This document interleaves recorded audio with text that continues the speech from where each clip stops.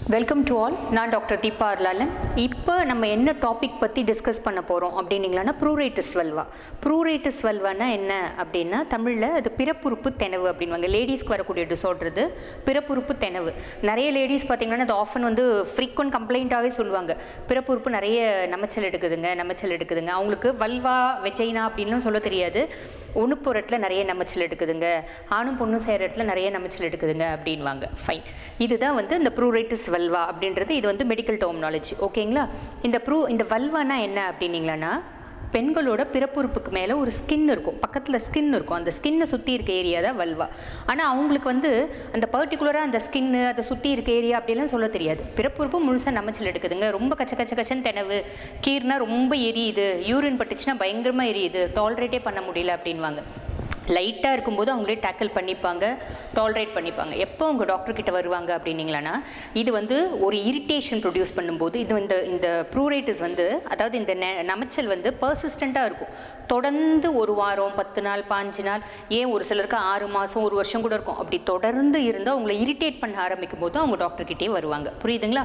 இது யார் யாருக்கு வரும்? அப்படின்னா லேடிஸ்க்கு வரும். என்ன ஏஜ் குரூப் அப்படின்னு பார்த்தீங்களான்னா இது வந்து யூஸ்வலாக இந்த செக்ஷுவலி ஆக்டிவ் ஏஜ் குரூப்ஸ்க்கு அதாவது twenty to forty years age அது என்ன செக்ஷுவலி ஆக்டிவ் ஏஜ் அப்படின்னா ஆணும் பொண்ணும் நிறைய சேர்ற ஏஜ் பார்த்தீங்கன்னா இந்த twenty to forty years of age அதுக்கு மேலே வந்து அவங்க வந்து சேர்க்கின்றது ரொம்ப கம்மியாயிடும்.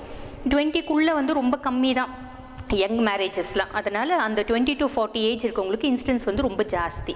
ஓகேங்களா? இது வரத்துக்கான காரணம் என்ன அப்படின்னீங்களான்னா இது வந்து அதாவது இதனோட காசஸ் என்னென்னா ஹியூமன் பேப்பிலோமா வைரஸ் அப்படின்ற ஒரு வைரல் இன்ஃபெக்ஷனால் வரும். ரெண்டாவது டயபெட்டிஸ் மிலிட்டஸ் சர்க்கரை இருக்குது பேஷண்ட்டுக்கு அன்கண்ட்ரோல்டாக இருக்குது அப்போ வரும். ஒரு சிலருக்கு சர்க்கரை இருக்கிறதே தெரியாது. அவங்க எப்போ பாரு பிறப்புறுப்பு தினவு தெனவு தினவுன்னு சொல்லிட்டு அப்பப்போ போவாங்க. அது கேண்டிடல் இன்ஃபெக்ஷனுக்கான மெடிசன்ஸ்லாம் எடுத்துப்பாங்க.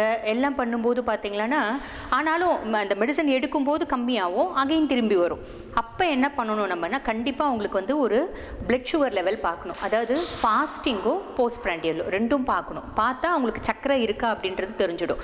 ஃபஸ்ட்டு வந்து நம்ம பிளட் சுகர் பார்க்குறோம் அப்படின்னீங்களான்னா ஓரல் குளுக்கோஸ் டாலரன்ஸ் டெஸ்ட்டு பார்க்கணும். அதை விட்டால் ஹெச்பிஏ ஒன்சின்ற செக்கப் பார்க்கணும். அப்படின்னா என்னென்னா இன்றைக்கி காலையில் வெறும் வயிறு இன்றைக்கி சாப்பிட்டுட்டு ஒன்றரை மணி நேரம் கழித்து செக்கப் பண்ணும்போது நிறைய பேருக்கு அது வந்து மிஸ் ஆகிடும் இந்த ஹெச்பிஏ ஒன்சி அப்படின்ற பரிசோதனை பார்த்தீங்கன்னா மூணு மாதமாக நம்ம ரத்தத்தில் சர்க்கரையினோட அளவு எவ்வளோ இருக்குது அப்படின்றத நம்ம ஹீமோக்ளோபின் கேப்சர் பண்ணி வச்சுருக்கோம் அதை வச்சு நம்ம கண்டுபிடிச்சிக்கலாம் இந்த மாதிரி ஃப்ரீக்வெண்ட்டாக தெனவு இருக்குது அப்படின்றவங்களுக்கு ஒரு ஹெச்பிஎன்சி பண்ணிவிடுங்க அவங்க நீங்கள் சஸ்பெக்ட் பண்ணிங்களான்னா டயபெட்டிக்காக இருக்குது அப்படி நீங்கள் சஸ்பெக்ட் பண்ணிங்க உடம்பு வந்து முதல்ல இருந்ததை விட இப்போ நான் இழைச்சிட்டேன் ரொம்ப ரொம்ப டீல் ஆகிட்டேன் அப்படின்லாம் பேஷண்ட் சொல்லுவாங்க அப்படின்னா நீங்கள் வந்து அந்த ஒரு செக்கப் பண்ணிக்கலாம் இது மட்டும் இல்லாமல் என்னென்னா கேண்டிடியல் இன்ஃபெக்ஷன் கேண்டிடியல் இன்ஃபெக்ஷன்றது பூஞ்சக்காலா இன்ஃபெக்ஷன் பூஞ்சக்காலா இன்ஃபெக்ஷனாக என்னென்னா நம்ம ஊறுகாயெல்லாம் வாங்கி ரொம்ப நாள் வச்சுட்டோம்னா மேலே அப்படியே வெள்ளையாக பூத்துக்கும். நம்ம பார்த்துருப்போம். அதே மாதிரி பிறப்புறுப்பில் ஃபங்கல் வந்து வளரும். அந்த ஃபங்கல் பேர் வந்து கேண்டிடியா அப்படின்வாங்க அந்த இன்ஃபெக்ஷனில் ரொம்ப கச்ச கச்ச கச்ச கச்சன்னு தினம் வரும். அந்த தெனவு அந்த இன்ஃபெக்ஷன் இருந்து நமச்சல் இருந்துச்சுன்னா அதுக்கான கண்டிப்பாக மெடிகேஷன்ஸ் எடுக்கணும். வெறும் நிறைய பேர் பார்ப்போம். இந்த கேண்டிட் ஆயின்மெண்ட் மட்டும் மேலே மேலே மேலே போட்டு போட்டு அதை பேலியேட் பண்ணுவாங்க. அப்படி பண்ணாதீங்க. அதுக்கு வந்து கேண்டிசைடல் ஏஜென்ட்ஸ் உள்ளுக்கும் எடுக்கணும். அதாவது அந்த பூஞ்சக்காலான சாகடிக்கிற மருந்து உள்ளுக்கும் எடுக்கணும். மேலுக்கும் எக்ஸ்டர்னல் அப்ளிகேஷன் பண்ணலாம். எக்ஸ்டர்னல் அப்ளிகேஷன் வந்து ஒரு twenty to thirty percent result தான். அதை கம்ப்ளீட்டாக ஹீல் பண்ணாது. ஸோ அது பண்ணணும். இன்னொரு இன்ஃபெக்ஷனில் வந்து இந்த ப்ரூரைட்டு சொல்ல வரும். அது என்ன அப்படின்னீங்கன்னா இந்த ட்ரைக்கோமோனியாசிஸ் இன்ஃபெக்ஷன் ட்ரைக்கோமோனியாசிஸ் என்ன? அது என்ன இன்ஃபெக்ஷன்னா அது ஒரு விதமான பாக்டீரியல் இன்ஃபெக்ஷன் அதில் என்ன ஆகும்னா வெள்ளப்படுறது வந்து நொர நொறையாக ஃபோமி லுக்கோரியா இருக்கும். அப்படியே நொர நொறையாக நொர நொறையாக வரும். க்ரீனிஷ் டிண்ட் இருக்கும் அதில். ஒரு பச்சை கலர் டிண்ட் இருக்கும். அதே மாதிரி பிறப்புறுப்பில் பார்த்தீங்கன்னா வெஜைனாக்குள்ளே அதாவது ஃபீமேலோட பிறப்புறுப்புக்குள்ளே அங்கங்கே பேட்ச் பேட்ச் பேட்ச் பேட்சாக வெள்ளை வெள்ளையாக ஒட்டி இருக்கும் இவங்க ரொம்ப நமச்சல் எடுத்து அந்த பேட்ச் எப்படி பிரித்தாங்கன்னா உள்ள பெட்டிக்கல் ஹெமரேஜஸ் அப்படின்வாங்க அப்படின்னா என்னென்னா டாட் டாட்டாக அந்த ரத்தம் இருக்கிறது தெரியும். அந்த செதப்பிஞ்சு டாட் டாட்டாக ரத்தம் இருக்கிறது தெரியும். இதை வச்சு நீங்கள் ஜட்ஜ் பண்ணிக்கலாம். ஓகேங்களா? இது ஸோ டயபெட்டிஸ் மிலிட்டிஸ் மெயின் காரணம் கேண்டிடியாசிஸ் மெயின் காரணம் ஹியூமன் பேப்பிலோமா வைரஸ் அதுக்கப்புறம் வந்து பார்த்திங்கன்னா ட்ரைகோமோனியாசிஸ் இன்னொன்று என்னென்னா நிறைய இப்போ கொஞ்சம் மாடர்னாக இருக்க கேர்ள்ஸு இந்த சாஃப்ட்வேரில் ஒர்க் பண்ணுற கேர்ள்ஸ் இந்த மாதிரி சிட்டியில் இருக்க கேர்ள்ஸ்லாம் என்ன பண்ணுவாங்கன்னா வெஜினல் ஸ்பேஸ் நிறைய யூஸ் பண்ணுறாங்க அந்த வெஜினல் ஸ்பே ஸ்ப்ரேஸ் வந்து பார்த்திங்களன்னா அது ஒரு கிளென்சிங் ஏஜென்ட்னும் சொல்லிக்கலாம். அட் த சேம் டைம் வந்து ஒரு ஸ்மெல் கொடுக்கறதுக்கு அவங்க மேலே எந்த அஃபென்சிவ்னஸும் வரக்கூடாது. இப்போ வேர்வைக்கு எப்படி டியூட்ரண்ட் போடுறோமோ இந்த மாதிரி வெஜினல் ஸ்மேஸ் ஸ்ப்ரேஸ்னு வச்சுக்கோங்களேன் அந்த மாதிரி நிறைய யூஸ் பண்ணுவாங்க. அதே மாதிரி கெமிக்கல் டவுச்சிங்ஸ் யூஸ் பண்ணுவாங்க. இதெல்லாமும் அதாவது இந்த இரிட்டன்ஸும் வந்து இந்த ப்ரூரைட்டஸ் வெல்வாக்கு காரணம். ஏன் இந்த இரிட்டன்ஸ் காரணம்? அது வந்து நல்ல ஸ்ப்ரேஸ் தானே யூஸ் பண்ணுறாங்க அப்படின்னு நீங்கள் கேட்கலாம். ஆக்சுவலி என்னென்னா அந்த வெஜினால பிஹெச் வந்து எப்பயுமே நார்மலாக இருக்கணும். அது மோர் அசிடிக் ஆனாலும் வம்பு ஆல்கலைன் ஆனாலும் வம்பு. அதாவது மோர் அசிடிக் ஆச்சுன்னா என்னென்னா அந்த வெஜினல் ஃப்ளோரா அதாவது நம்ம பிறப்புறுப்புலேயே ஒரு இயற்கையாகவே வந்து சில நல்லது செய்யக்கூடிய கிருமிகள் இருக்குது நம்ம ரொம்ப இந்த மாதிரி டவுச்சிங் பண்ணும்போது ரொம்ப ஸ்ப்ரேஸ் யூஸ் பண்ணும்போது என்னென்னா அந்த நல்லது செய்யக்கூடிய கிருமிகள் வந்து செத்து போயிடும். அதனால் அந்த பிஹெச் ஆல்டர் ஆகும். அதனால் அவங்களுக்கு வந்து இந்த மாதிரி நமைச்சல் ப்ரொடியூஸ் ஆகும். ஃபைன் இதுக்கு அடுத்து என்ன ரீசன் கடைசி ரீசன் என்னென்னா ஓவர் ஸ்பைசி ஃபுட் சாப்பிட்றது. ஓவர் ஸ்பைசி ஃபுட்னா என்னென்னா நிறைய சிக்கன் சாப்பிடுவாங்க. சிக்கன் வந்து நிறைய சாப்பிட்றது. அதே மாதிரி கத்திரிக்காய். நிறைய பேருக்கு பார்த்தீங்கன்னா கத்திரிக்காய் ரொம்ப பிடிக்கும். அந்த கத்திரிக்காய் நிறைய எடுத்துக்கிறது. ட்ரைடு ஃபிஷ்ஷு ஃபிஷ் நிறைய எடுக்கிறது.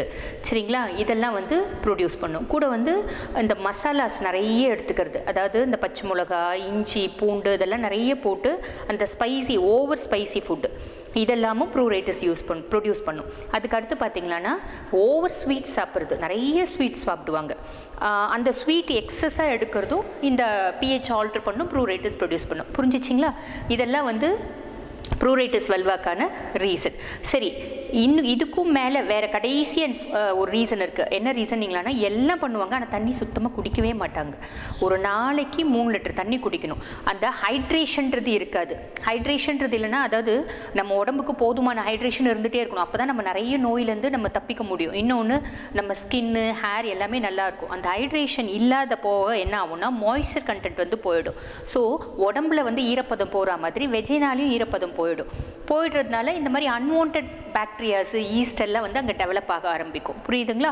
அதனாலேயும் இந்த ப்ரூரேட்டு செல்வா வந்து ப்ரொடியூஸ் ஆகும்.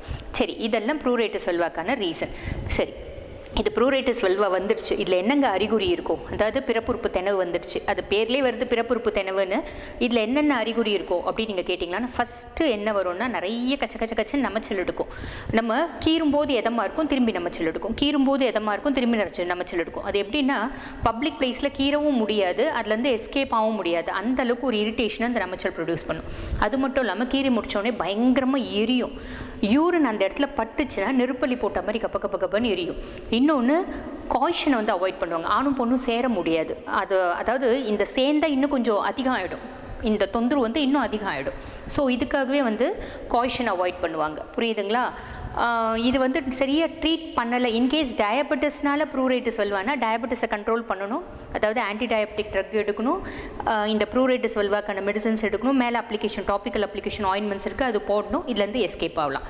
சரிங்களா? இன்கேஸ் ஃபங்கல்னால ப்ரூரேட்டு சொல்லுவா அதாவது கேண்டிடியசிஸ் அந்த பிறப்புறுப்பு பூஞ்ச காலானால ப்ரூரைட்டிஸ் வெல்வா அப்படின்னா என்ன பண்ணணும் அப்படின்னீங்களன்னா ஃபஸ்ட்டு நிறைய தண்ணி குடிக்கணும். ஏன்னா ஃபங்கல் வந்து தண்ணி இல்லாமல் போகவே போகாது.